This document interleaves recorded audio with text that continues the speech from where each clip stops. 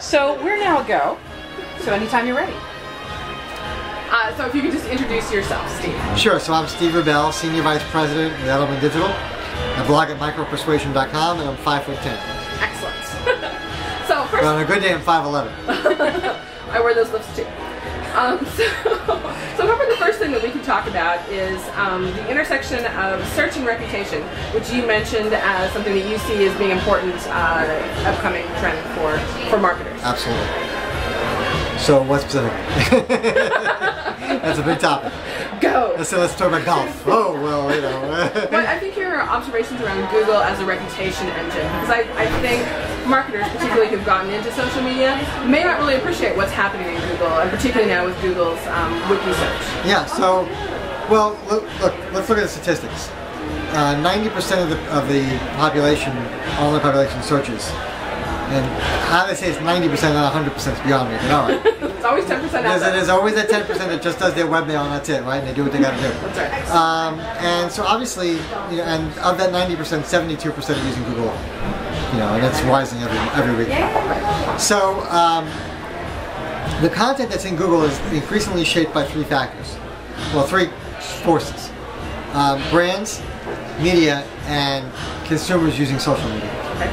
And, uh, and so what we're seeing is that if you create high quality content in Google on a regular basis, uh, so if you create high quality content online and you earn links from other high quality sources, you're rewarded through Google, which is why Wikipedia does amazingly well. Actually, Wikipedia is in the top five searches, probably almost every brand you can think of. So, uh, unless they actually own a lot of domains. So, it's becoming, you know, it's a place where people are influenced every day.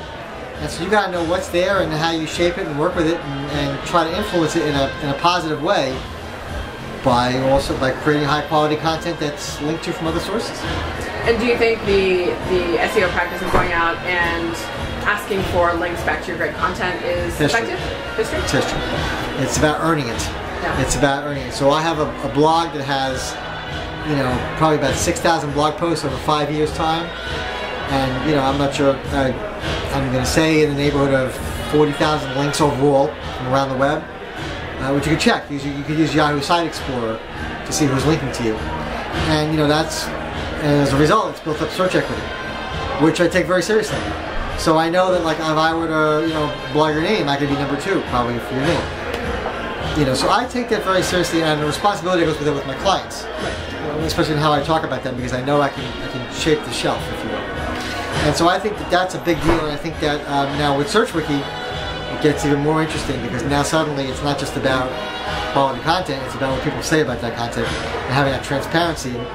I actually think SearchWiki is going to go down as a uh, failure. Yeah. I think there will there, there will be so much spam and so much policing of it and so many complaints and and uh, and it's too open for and there's no policing mechanisms. They'll they'll take it down and they'll retool it and they'll bring they'll bring it back. But this is where, in a search result, that I, as a consumer, could leave a comment in the search results. Yeah, you can leave that, and if you're another and if you're uh, a Google uh, registered member, you can see that. Uh, you can see all those comments. Okay. So I've already sent out an email to our teams instructing them on how to check for that every day. Right. Because there's no RSS for that right now. and There's no automated way to do that. So uh, That's going to be hugely important for brands Huge. if it does go down. and it's going to be important for brands to probably go in there and react and to uh, and to buttress what's there uh, as themselves. But when you know, it's when I think of Google, it's your front door. It's not your back door; it's your front door. And if you're, uh, you know, if if uh, if if you got um, you know bugs on your front door, you're going to want to deal with them. Get a zap. If you got ro- if you got roses on your front door, you're going to want to celebrate them. Okay, awesome. I Um, might need these blog posts as I go. We'll send you the video you can transcribe Yeah, later. please remind right, me later because I'm going to forget all this stuff. we'll edit some things out. Uh, draw some mustaches on. It'll be lots of fun.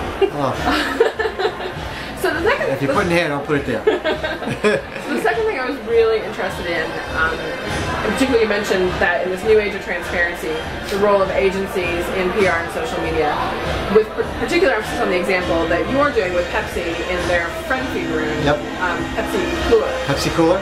If you talk to me about kind of what Pepsi Cooler is and how you are working with the brand um, to be transparent to that audience. Sure, this is a good song too. Um, you know, so I'm working uh, with Pepsi on a few things. First of all, I'm helping them devise a, a, a strategy for their, their company about how to think about digital and social media that's kind of holistic and expanded. But beyond that, um, you know, they wanted to really figure out how they build a better relationship with influencers. And so um, they did a number of tactics, one of which was we suggested that they build a friend feed room because there are a lot of social media influencers like yourself who spend time on that site, and we saw that as a, as a great platform to engage them in an open way. So, you know, like any good PR agency, we were behind the scenes, work with them, strategizing, helping them to, you know, go forward themselves as, as themselves. But as part of that, um, you know, they started to say, you know, Steve, you're working with us. We really believe that you should be out there with us and uh, and to, to show that this is we're part of the United Team. And I ran it by our folks and said, what do you think? He said, that's what the client wants, you should do that. I said, that's a good idea. So we're out there all together, uh, uh, and I'm blogging, you know, I was calling it blogging, but I'm contributing content there less than they are. They're really kind of the voices there. But I will, but I have been in there active. And I think it's important that we kind of show that we're a united front. And I think that's the future, that the agencies have to be transparent in who they work with and be participants sometimes in that process. And that's not always going to be comfortable. You know, say, do you think most agencies are ready for that kind of transparency? No. And, and you know what? Neither are we probably in every instance.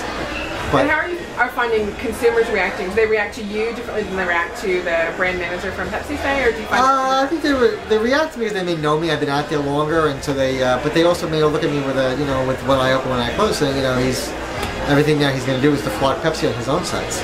Right. So there's a risk with that too. So uh, I mean, I have, believe in that company, and I think and I believe in them, and I think they're fantastic. It's a dream to work with the brand. So I'm very proud of the fact that I'm out there. It's not really that controversial. right. You know, if it was uh, a political campaign, might be different. If it was something with some controversy, it might be. But you know, you never know what's going to happen. I mean, look at the Motrin thing. I mean, something could hit Pepsi in the face tomorrow, and then I'm there with them. And that, that's the risk. It's every all these things are high risk, high reward. And then how are you measuring the success of the the Pepsi filler? Well, we're looking at a lot of metrics in reach and engagement and reputation, and uh, less so in trial, but uh, but more so we're looking at you know page views and uh, people who visited the site. Uh, we're looking at mentions on blogs. We're looking at uh, media mentions. We're looking at traffic. We're looking at comments, uptake. Uh, we're looking at impact on search. We're looking at uh, uh, you know engagement within the site.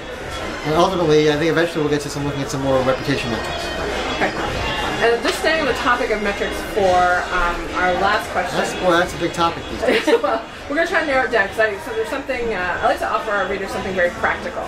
So this may be giving away a secret of yours. We'll see what happens. Um, every day. really interested to hear um, about you using Wordle. Yeah. And I would just love if you would just share that, share an example of how you guys use Wordle as a, and maybe explain Well, what Wordle is. sure. Wordle's a site that you could use to build uh, word clouds, uh, pretty much any content you throw at it. So the problem with bloggers, a good, good problem to have, is that they could. Uh, I want to be very clear. Not like the problem with bloggers. Shake a finger.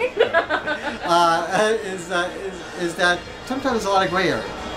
You know, somebody can blog about President Bush, and the next post they go about their cat having a hairball.